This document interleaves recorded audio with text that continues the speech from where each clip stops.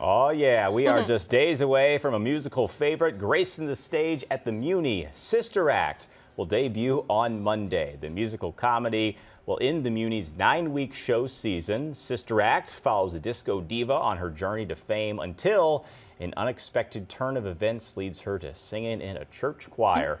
The show runs from August 14th through the 20th. Folks have a chance to come out, come see Sister Act, come laugh. Uh, enjoy some disco music, a little bit of Motown uh, infusion there. It's a great, great show. There are 1,500 free seats on a first come, first served basis. For ticket information, you can visit this story on the KMOV News app.